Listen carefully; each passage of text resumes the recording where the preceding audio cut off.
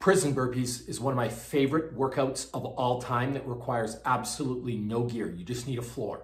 It's a 20 to 1 burpee ladder. That means you do 20 burpees, run across the room and do 19, run back and do 18, 17, 16, 15, 14, 13, 12, 11, 10, 9, 8, 7, 6, 5, 4, 3, 2, and you end on 1.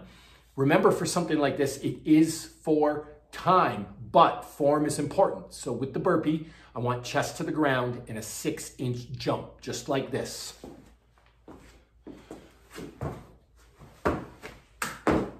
Nice clap overhead, and you are done prison burpees.